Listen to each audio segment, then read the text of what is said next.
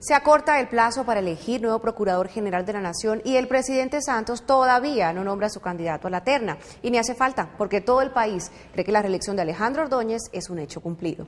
Daniela Vargas. Carolina, los senadores que son quienes tienen la facultad de elegirlo ya están celebrando su continuidad en el cargo. Y hasta le piden a Ordóñez que escoja el candidato que derrotará.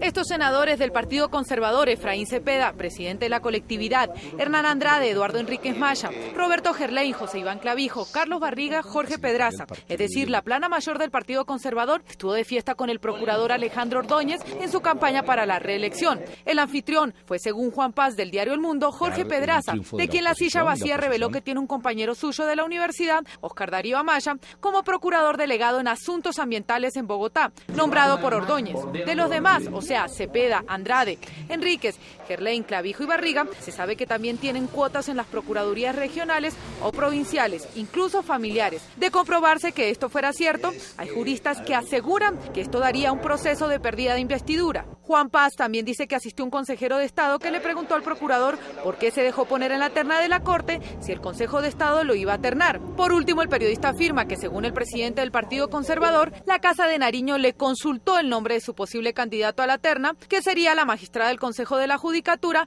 María Mercedes López. Él y Ordóñez habrían respondido que es una excelente candidata.